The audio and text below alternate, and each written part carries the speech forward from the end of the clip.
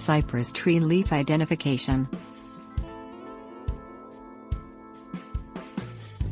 Valued for their wood and ecological impact, cypress trees have become popular for reforestation efforts in the south, especially around wetland areas.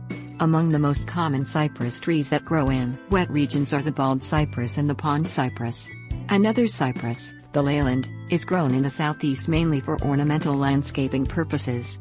Each type of cypress bears its own distinct leaves, making the different trees simple to tell apart.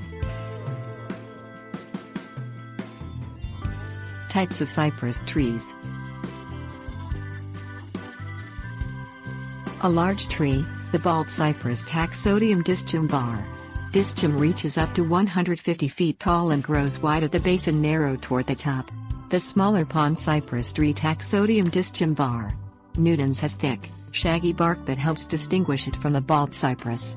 Another type of cypress tree, Leyland cypress Sax Cupressocyparis leylandii, grows extensively in the southeast, according to Clemson University, getting from 60 to 70 feet tall, sometimes reaching up 100 feet. Cypress leaves Classified as a deciduous gymnosperm tree, according to the University of Tennessee, the leaves on the cypress tree turn brown in autumn and fall along with the cones, which leaves the tree looking bare. The needles on these trees give them the classification of conifer. Identifying bald cypress.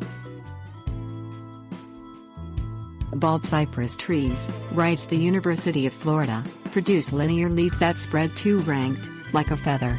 These stumpy, flat needles grow only inch to inch in length and thickly cover short branchlets that sprout from twigs. The twigs themselves remain bare of needles. On a twig, the branchlets form on both sides and arch out, leaving a small space between each branchlet. In addition, the light, yellow-green foliage of the bald cypress hangs loosely from the tree. Identifying pond cypress.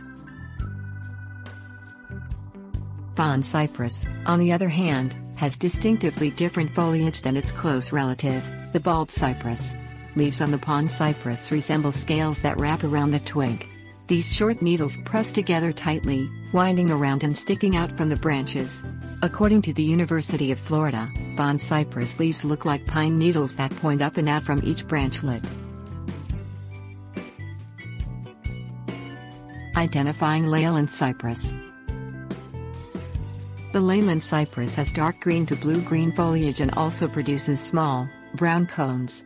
Dense branches that angle up as they grow resemble feathers. The needles on the Leyland cypress grow scale-like on flat branchlets, very similar to the pond cypress.